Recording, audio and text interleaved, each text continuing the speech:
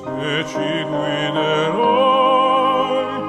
tu ci salverai, gli occhi nostri sono i tuoi. Sogniamo un mondo senza più violenza, un mondo di giustizia e di speranza,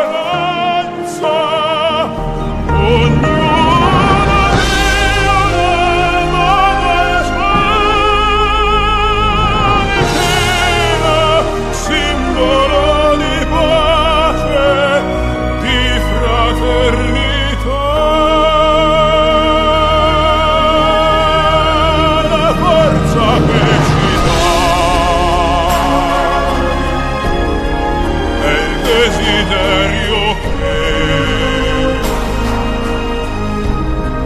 ognuno trovi amor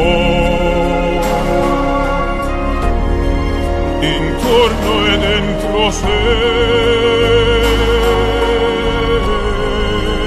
Questa mia preghiera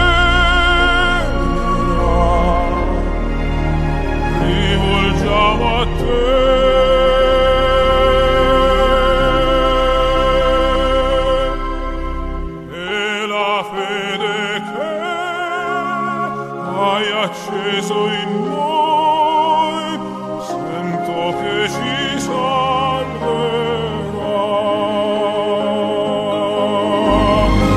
E la fede che hai acceso in noi,